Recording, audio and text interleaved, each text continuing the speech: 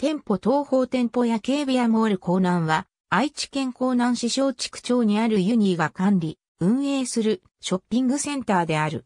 各店舗は、アピタ港南西店。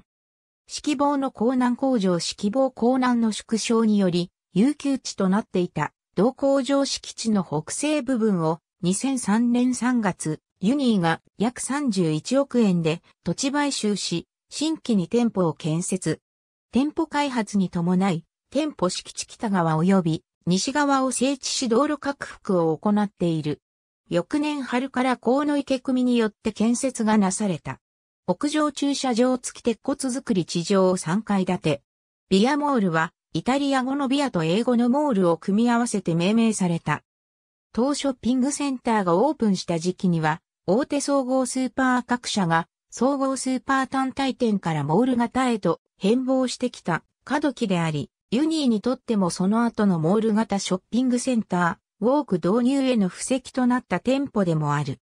江南市村区の町の旧、ビアーピタ江南のカルチャー部分を事実上引き継ぎ、ビアの負傷が継承されている。また、アピタ江南店が2006年2月の改装に伴い、アピタ江南店食品館として食料品店に特化したため、同店の衣料品部門、生活雑貨及び住居関連品部門の移転後継店ともなっている。完成後も整備が進み、敷地内には大型日帰り温泉施設、松竹温泉、天風の湯が2007年3月にオープンした。近隣の競合店舗としては、イオンモール府層、イオンモール、木曽川、イオンモール、各務原などがある。また、ユニーの店舗のメガドンキホーテに港南店のほか、ピアゴホテイ店、アピタ木曽川店、メガドンキホーテ2大口店、テラスウォーク一宮店なども、当店から近隣に所在する。